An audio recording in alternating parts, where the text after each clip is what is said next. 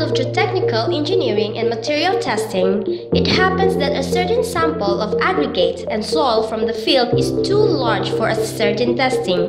The problem would be that if you get a testing size from the field sample for a laboratory testing, would that testing size enough for maintaining the representative nature of the samples?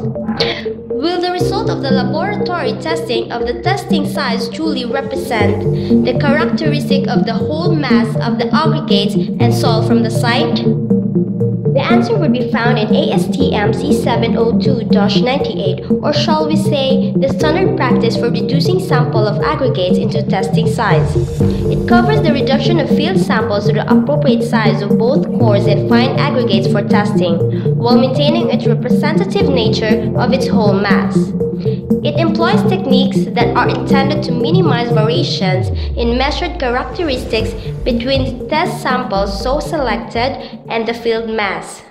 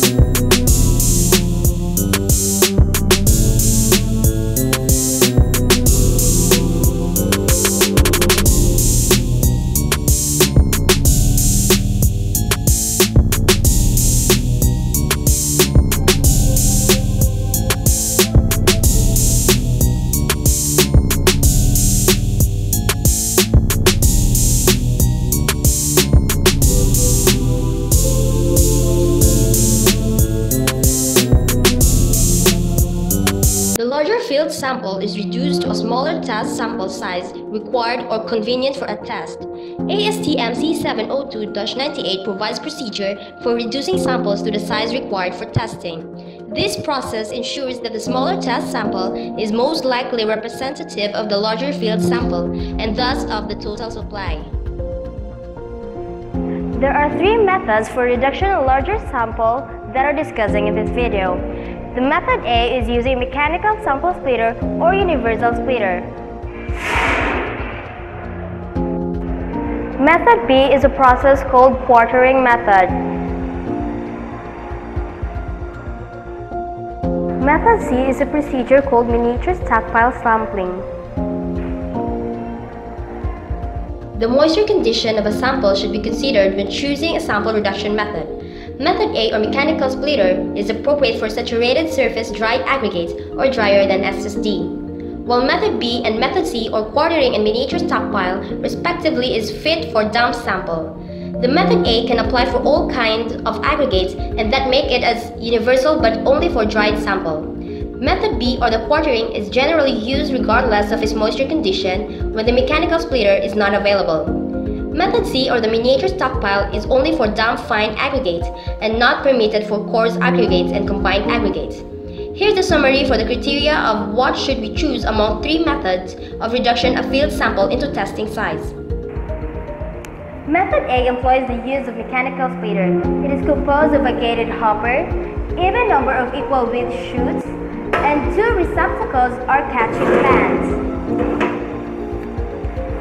the sample is a coarse or combined aggregate, then the chutes must be a maximum of 8 with the width of individual chutes approximately twice the largest size particle in the sample.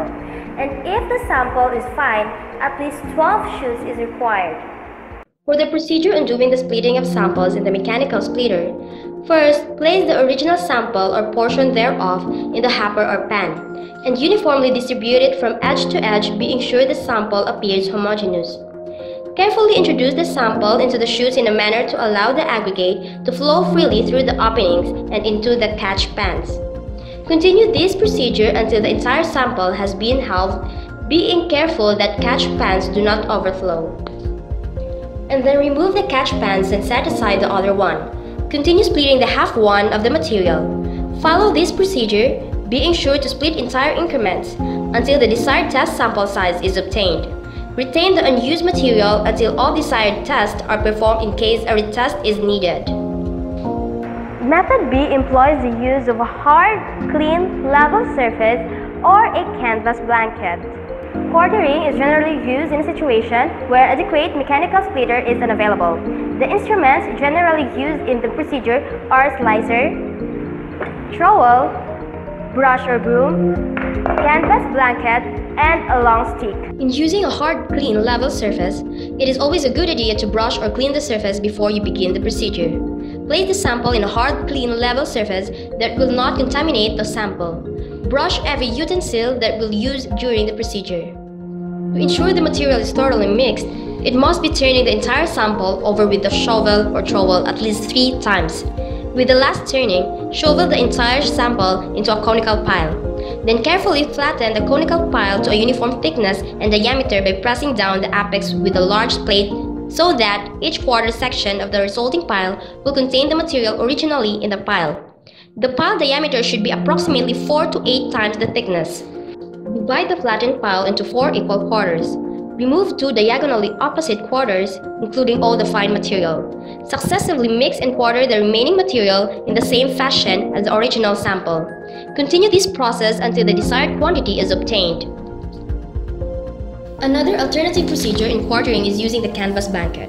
It is used whenever the surface is uneven. The field sample may be placed on a canvas blanket and alternatively lift each corner of the blanket and pulling the blanket over the sample toward the diagonally opposite corner causing the sample to be rolled. It is similar to the first procedure on turning the entire sample over with the shovel at least three times. After rolling the sample through lifting the blanket, flatten and divide the pile as described in the first procedure or if the surface beneath the blanket is too uneven, insert a stick or pipe dividing the pile into two equal parts. Remove the stick leaving the fold in the canvas between the sample halves. Slide again the canvas blanket at a right angle to the first division and dissecting the two sample through their centers. Lift the stick evenly from the fine material and clean the area. Successively mix and quarter the remaining material until the desired is obtained. Use only for a damp fine sample. Method C or the miniature stockpile is procedurally very identical to method B, which is the quartering method. Only that the conical pile is not required to flatten and a small sample or a small scoop is used to obtain a desired sample. For procedure, place the field sample on a hard, clean, level surface where there will be no loss of material or contamination. Mix the sample by turning, shovel the entire sample into a conical pile by depositing each shovelful on top of the preceding one. Obtain a sample for each task to be performed by selecting at least 5 increments of the material at random locations from the miniature stockpile using a sample thief, small scoop, or spoon. Remember, in every laboratory testing, the aggregates in the soil sample must be undergone first in reduction method. If it is inconvenient or the time wasting, then prepare a set of sample already reduced into a testing size for all laboratory tests. Make sure the desired testing size for each test is achieved. Again, it is important to do the reduction of field sample into testing size by a variation method in order to retain the representative nature of the whole mass of aggregates.